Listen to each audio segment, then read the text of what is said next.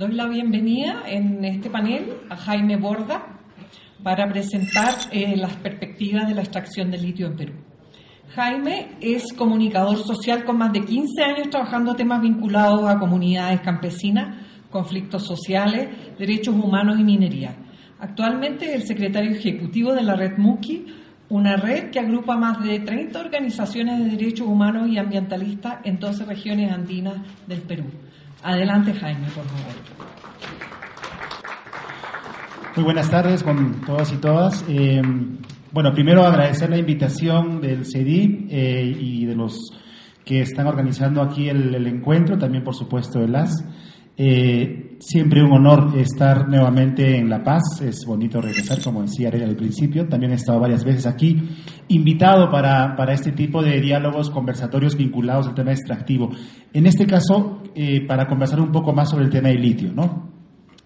Eh, comentarles un poco que, eh, claro, en el caso peruano, eh, si bien el, litio no está vinculado directamente con inversiones chinas, claramente las inversiones chinas tienen una presencia enorme en Perú, porque en el caso peruano extraen cobre y el cobre también es parte de la discusión de la transición energética, es un mineral que se va a requerir para la transición energética, ¿no es cierto? Y ahí voy a mostrarles seguramente cuánto de estos proyectos mineros maneja, controla eh, China en, Perú.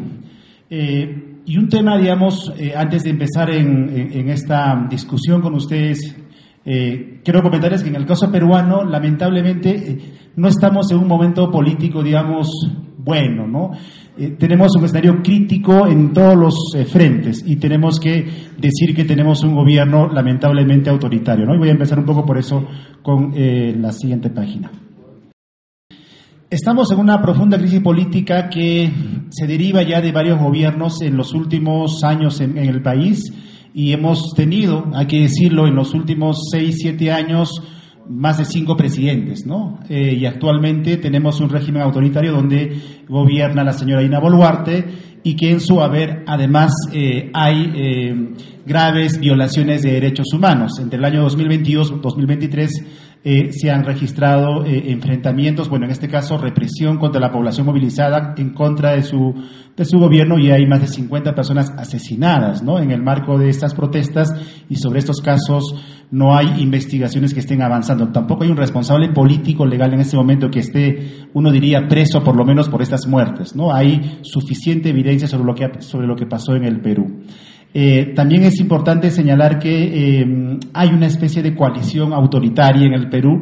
No solamente es el régimen de Boluarte, ¿no? sino que hay una alianza con el Congreso de la República y que se ha encargado de cooptar otros poderes estatales. ¿no? Ahorita, por ejemplo, controlan el Tribunal Constitucional, inclusive eh, manejan la Defensoría del Pueblo, una instancia que es digamos, eh, la que defiende los derechos de la población en el Perú, pero hoy también tienen cooptado esta organización. Entonces decimos nosotros que este gobierno en realidad eh, está enquistado en el poder con esta coalición autoritaria y que no eh, quieren gobernar, solo están, nosotros decimos en esa frase, solo quieren durar y no gobernar y tratar de aprovecharse en eh, cuestiones vinculadas a proyectos en términos de corrupción, entre otros. ¿no? Lo que están haciendo en este momento en el Perú.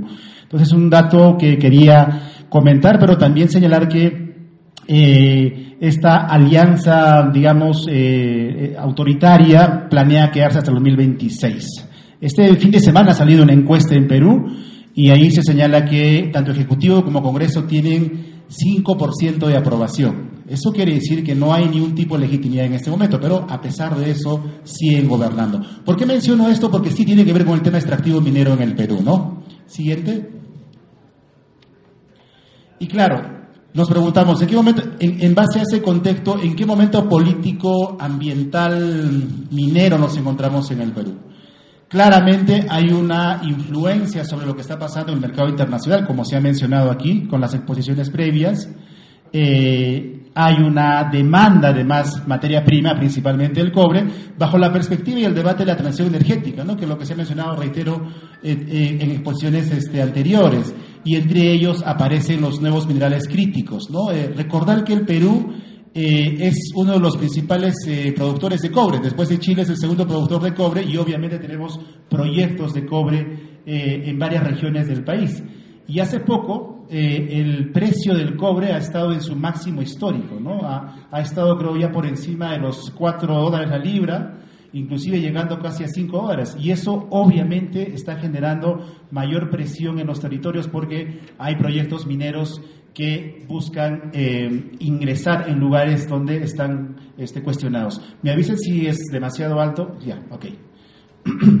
Entonces decimos que eh, en este mm, eh, gobierno autoritario los gremios mineros están muy, muy contentos porque sienten que este gobierno les da luz verde para lo que ellos quieren. Entonces, a eso le hemos llamado mayor expansión minera que busca retomar proyectos inclusive cuestionados. Nosotros en Perú hemos tenido casos sobre proyectos cuestionados como el caso Río Blanco en Piura, el caso Conga en Cajamarca, Tía María en Arequipa, que no tienen licencia social. Eh, hace 10, 15 años la gente ha dicho no a los proyectos y en este contexto quieren retomar esos proyectos nuevamente porque son proyectos para explotación de cobre, ¿no, es cierto? Entonces hay una demanda en ese momento del cobre en el mundo que hace que para ellos sea bastante mm, eh, lucrativo, digamos, retomar estos proyectos, ¿no? Pero también hay que decir que en ese momento en el Perú, eh, como está alto el precio del cobre, está alto el precio de los minerales como el oro, la plata, entre otros, eh, ha empezado a aparecer con mucha fuerza la minería ilegal y por supuesto la informal. Pero la minería ilegal además que viene con mucha violencia en los territorios. En los últimos dos años hemos registrado una serie de asesinatos en zonas, en territorios donde no había actividad extractiva eh, a defensores ambientales de los territorios. No solamente es minería artesanal o minería ilegal eh, de, de oro, sino hay minería eh, informal e ilegal de cobre, porque el precio del cobre está, está bueno, por así decirlo, y hay comunidades que están decidiendo dedicarse a esta actividad, ¿no? También es cierto que en ese contexto los gremios mineros lo que buscan en el Perú es eh, aprovecharse de este mm, momento político para eh, sacar leyes, normas que debiliten aún más la institucionalidad ambiental en el Perú. ¿no? Toda la cuestión ambiental está en franco retroceso. Hace poco se aprobó, el año pasado, perdón, se aprobó una ley antiforestal para eh, seguir este, avasallando la Amazonía. Eh, hace poco se ha emitido una serie de normas que hemos llamado paquetazos ambientales, que por ejemplo buscan reducir plazos para trámites de estudios de impacto ambiental. Lo que antes demoraba en un año en revisar, lo quieren hacer ahora en tres meses, dos meses, ¿no? Es decir, ir a fondo con los eh, procedimientos que eh, tomaban más tiempo ahora para hacerlo rapidísimo, justamente porque buscan aprovechar el buen precio de eh, los minerales, ¿no? Y obviamente los territorios, las comunidades tenemos este problema que tiene que ver con el agua y la crisis climática. Esto es una realidad que lo hemos vivido en los últimos dos años, no solamente en el contexto de la pandemia, sino también con el fenómeno del niño el año pasado y todo lo que está pasando. No, hay, no ha llovido, por ejemplo, en, en la sierra en algunas temporadas y todo eso ha generado que haya un estrés hídrico en los territorios, principalmente en las comunidades, y por ende también en las ciudades este, y capitales de, de ciudades eh, en Perú. ¿no? Siguiente. Y bueno, aquí algunos datos, eh, digamos, por mencionar eh, sobre cómo es la mm, política de concesiones mineras. Pueden ver ahí un mapa donde ven como manchitas rojas son las concesiones mineras en el Perú. Digamos, así está más o menos ubicado. Tenemos casi el 15% del territorio concesionado. La mayoría de estas concesiones tienen que ver con extracción de cobre. Este, y bueno, también hay de oro, de plata y otros minerales, pero principalmente el cobre. Y, en esos territorios es donde se concentran la mayor cantidad de conflictos socioambientales, ¿no? Y pueden ver un mapa al costado, es un mapa de la Defensoría del Pueblo, cuando antes se sacaba estos reportes, y regiones del sur, regiones del norte, donde se concentran los conflictos sociales, y de esos, eh, la mayoría son conflictos socioambientales vinculados al tema extractivo, al tema minero principalmente, ¿no? Siguiente. Eh, y bueno, aquí podemos ver un mapa que nos muestra un poco eh, cuáles son las unidades mineras en operación. Es más o menos la cantidad de proyectos mineros que tenemos en el Perú, principalmente gran minería. Aquí estamos hablando de gran minería. Y la mayoría, si se dan cuenta, son de, de cobre, oro, zinc, plata, plomo, hierro, estaño, molibdeno, no metálico, pero en gran medida es cobre, ¿no? Eh, tenemos unas, unas cifras al costado que tienen que ver con eh, la cartera de exploración minera y ahí, obviamente, la demanda que eh, se tiene para inversiones para los próximos años en el sector minero tiene que ver nuevamente con el, cor, con el cobre, está el oro, zinc, plata y aparece el litio. Aparece el litio en esa proyección porque efectivamente, vamos a hablar un poco más adelante sobre eso, eh, hay un proyecto de litio en el sur del Perú, concretamente en la región de Puno. ¿no? Entonces, un poco las cifras que se manejan también desde el Perú. Siguiente. Y para conectar un poco sobre China, digamos, ¿qué tiene que ver China también en el caso peruano? Es importante conectar eso porque, claro, este conversatorio, este diálogo tiene que ver con eso, pero además que la presencia de China en el Perú, como decía al principio, es preponderante en este momento, ¿no? Entonces, ahí solo para señalar que las inversiones chinas controlan sectores claves en el Perú eh, al punto inclusive que se han hecho del abastecimiento de energía. Hoy en día son dueños de Enel. Enel es la principal distribuidora de energía y luz en, en, la ciudad de Lima, por ejemplo, y en varias ciudades importantes de Perú. Controlan, por ejemplo, este sector. Ha habido denuncias sobre esto eh, de, de, algunos este, funcionarios del gobierno, porque se trataría, digamos, de eh, tener el control de sectores estratégicos como el sector energético, ¿no? Pero a su vez también están en el sector minero. Más adelante comentaré sobre eso. Eh, se está construyendo un megapuerto en Perú, el megapuerto de Chancay, que estos, estas semanas, estos meses se comenta muchísimo, porque se prevé que en el, contexto del foro APEC que va a haber en el mes de noviembre este año, estaría llegando el mismo presidente de China para hacer la inauguración de este megapuerto. Y el megapuerto obviamente va, a ser, va a servir para, para sacar materia prima de ahí, no solamente de Perú, sino también ya se han apuntado países como Colombia, Chile, Brasil y otros. ¿no? Entonces, estamos hablando de una infraestructura enorme que va a tener impactos también en ese, en ese lugar. ¿no? Y los dueños eh, son chinos. ¿no? También tiene presencia en el sector de construcción e, infraestructura, este, a raíz de los, las denuncias de corrupción que hubieron en Perú eh, por el tema de Odebrecht hace algunos años, China ha ocupado ese espacio, ¿no? Y hoy controlan también el sector de construcción, ¿no? Entonces, eh, eh, digamos, su presencia no es poca, reitero, tiene una gran presencia en sectores estratégicos en ese momento en el Perú. Y ahí habrá que decir que China, además, en el sector minero, tiene proyectos de explotación principalmente en el cobre. El proyecto más grande que tienen ahorita son las Bambas, que está al sur del Perú, eh, proyecto conocido y, en, muchos casos. Está Toromocho en el centro de Perú, Río Blanco, que no sale todavía, pero insisten en sacar que está al norte de Perú, en Piura. Eh, también Galeno en Cajamarca eh, y Shogun, que es principalmente explotación de hierro. ¿no? Entonces, tiene además una serie de cartera estimada de proyectos, eh, concesiones en varias regiones del país. Si bien no tiene inversiones en proyectos de litio, apunta a ser el principal comprador de este recurso en la perspectiva de la transición energética que estamos conversando hoy día. ¿no? Siguiente. ¿Me avisas, por favor, cuánto tiempo tengo? Y bueno, y así llegamos al contexto del tema del litio. Eh, eh, reitero, como decía, si bien no tenemos varios yacimientos o por lo menos proyectos en exploración, ya hay un proyecto, que es el proyecto Falchani, que está en la provincia de Carabay, en Puno, que está en fase de exploración bastante avanzado, ¿no? Eh, los dueños de, esta, de este proyecto son de la propiedad, eh, bueno, son una empresa canadiense, American Lithium, que tiene dos filiales, ¿no? En, una en Canadá y una en Perú. Eh, se ubican, reitero, en la provincia de Carabaya, en la región de Puno, que es básicamente frontera con, con la región, perdón, con el, con el hermano país de Bolivia, ¿no? y está ubicado a 4.500 metros sobre el nivel del mar y se han identificado varias comunidades que serían eh, posiblemente afectadas. Se habla de siete comunidades eh, directamente impactadas y obviamente de varias comunidades y distritos em, indirectamente afectados por este proyecto. ¿no? Eh, aquí hay un tema que hay que mirar con, mucha atención, porque en el caso de, esta exploración no es eh, eh, parecida a la de Bolivia, Argentina o Chile, eh, que es a través de salmueras, sino aquí es en roca. ¿no? Lo que han encontrado son reservas de recursos en roca y este litio además viene con uranio. ¿No? Y aquí viene la gran preocupación. El uranio es un mineral radioactivo, ¿no? Y además los impactos a la salud obviamente serían diferentes, mucho más preocupantes, ¿no? Eh, Debo decir también que en el caso peruano no tenemos un marco normativo todavía que regule, por ejemplo, eh, eh, la explotación de uranio como tal, además de ser un recurso estratégico. ¿no? Entonces, hay una preocupación obvia sobre este tema que la empresa en este caso no ha querido comentar o ha empezado a distinguir su discurso, que lo vamos a eh, mencionar ahora. ¿no? Entonces, dada la presencia de uranio en toda la meseta de Macusani, es posible que cualquier extracción de mineral que se haga en la zona va a venir con uranio como subproducto, decimos nosotros, ¿no? en algunos estudios que hemos realizado con varios socios de la red MUKI. ¿no?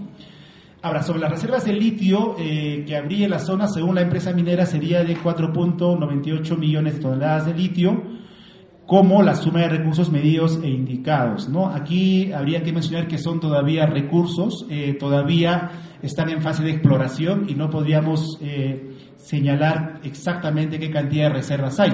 Pero eh, el gerente de esta empresa, eh, de Macusani Yellow Case, que es parte de American Lithium, señala en todos los medios de comunicación en Perú que las reservas van aumentando en la medida que van explorando el territorio. Entonces eso genera obviamente incertidumbre en la población porque no hay una cifra exacta de cuánto de reservas o recursos realmente hay en, en esta zona, ¿no?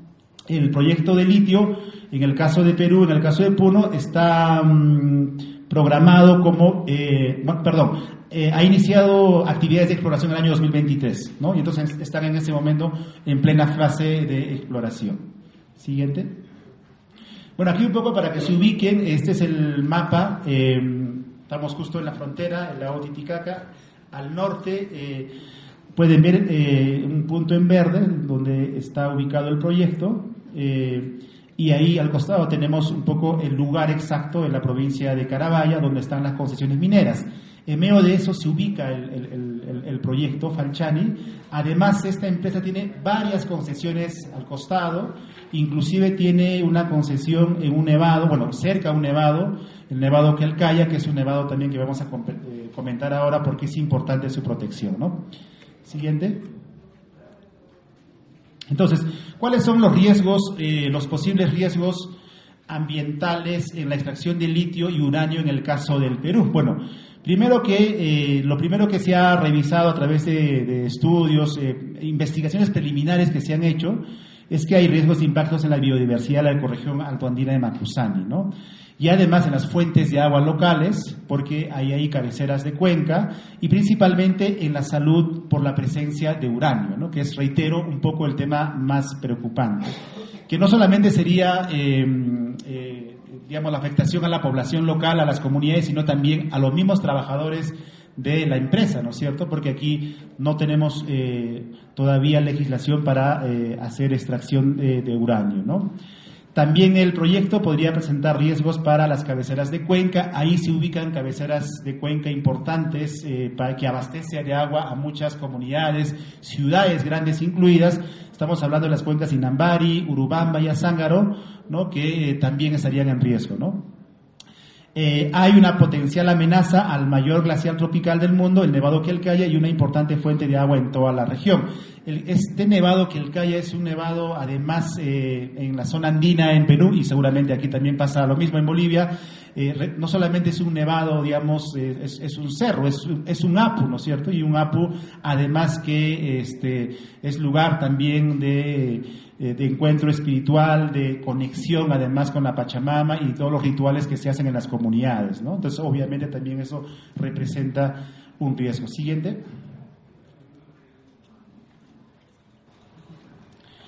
Decimos también que hay falta de transparencia y de mecanismos de participación de las comunidades, ¿no?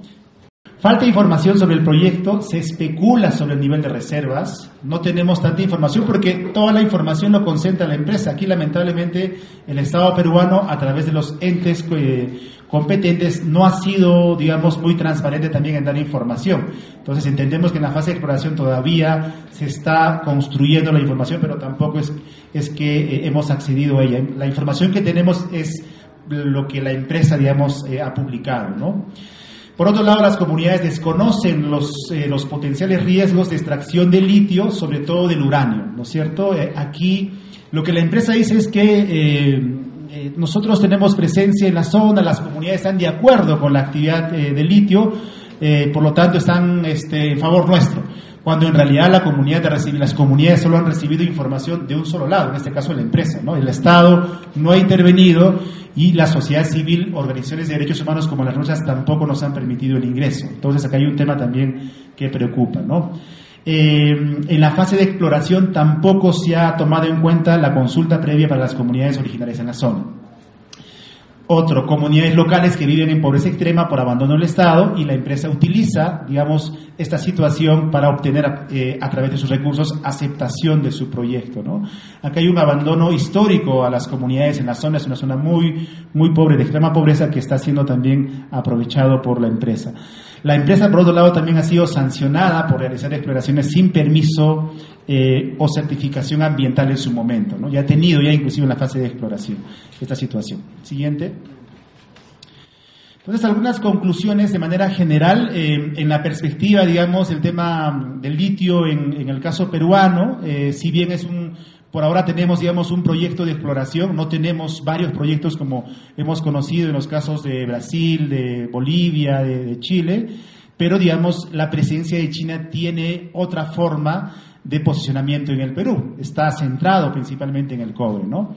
Entonces, en el Perú, los gremios mineros, bajo el argumento de la transición energética, buscan profundizar la minería de cobre y priorizar las exploraciones de litio. ¿no? Entonces, a raíz justamente de, de, esta exploración del litio en Puno, se han empezado también a activar, digamos, noticias de que se empezaría a explorar litio en otras zonas de las regiones del sur eh, del Perú. Ahora, mayor expansión minera supone mayor presión en los territorios, ¿no? para sacar adelante proyectos cuestionados. Ya lo hemos vivido en el Perú mientras más presión hay de los proyectos extractivos, más conflictos socioambientales van a haber y por lo tanto, lamentablemente, violación de derechos humanos. Eh, hay un grave retroceso en la institucionalidad ambiental bajo el argumento de exceso de tramitología. Se hacen cambios normativos para facilitar la inversión minera, lo he señalado. ¿no? Es una tendencia que se mantiene lamentablemente. Eh, el Ministerio del Ambiente prácticamente está reducido a su mínima expresión en este momento en el Perú, lamentablemente. ¿no? El crecimiento de la minería informal y ilegal está generando transformaciones en territorios comunales, creciente violencia y defensores ambientales en riesgo. El precio alto del cobre, como señalaba, no solamente el del cobre, del oro y otros minerales, está generando también mayor eh, crecimiento de eh, la minería ilegal eh, en, varias regiones del país. ¿no? Y el último, este, la mina. No sé cómo estoy con el tiempo, pero bueno. ok. Sobre el caso del proyecto Falchani en Carabaya Puno, eh, señalamos que se debe transparentar la dimensión de los posibles impactos del proyecto a nivel ambiental y a nivel sanitario en el sentido de la salud, la afectación a la salud por el tema del uranio. Eh, se debería generar un marco normativo sobre la explotación del uranio desde el Estado, así como los impactos a la salud humana. Ha habido iniciativas en el Congreso para sacar alguna legislación que regule esto, pero ha sido, digamos, básico, no ha sido aprobado. Eh, han salido iniciativas legislativas en el Congreso en el Perú para declarar el litio como un mineral estratégico, pero solamente declaraciones de ese tipo, no, ha habido más tampoco. Eh, el Estado peruano debería aplicar la consulta previa de manera libre e informada, no solamente bajo los eh, requisitos o argumentos de la empresa, sino, es más, debería tener más presencia el Estado para informar a la población de los posibles impactos y riesgos de la extracción de litio en ese territorio. También señalamos que se debería eh, garantizar la protección de las cabeceras de cuenca, en este caso, los que tienen que ver además eh, con el nevado de Quelcaya. En esa zona, como decimos, hay zonas de nacientes de agua que eh, son importantes para comunidades más abajo, pero también para las ciudades, ¿no? En, la zona. Y finalmente, creo que es un tema también importante para el caso peruano. Eh, hace falta un debate más amplio de la sociedad civil, autoridades locales, nacionales, sobre la explotación de litio en el Perú. No hay un debate en este momento serio sobre el tema. Se concentra toda la discusión eh, en la importancia del litio para la transición energética, nada más, pero no se habla como recurso estratégico ni siquiera a nivel regional y a nivel nacional el debate todavía es incipiente. Entonces, en comparación con, con, los demás países, como hemos escuchado hoy día, eh, digamos, es diferente, pero igual esa discusión amplia que señalo solamente se da en, eh, en el caso de, Perú con la empresa más no eh, con toda, digamos, la población afectada y en general con toda la región donde hay esta reserva de litio. Bueno, eso sería todo y muchas gracias por su atención.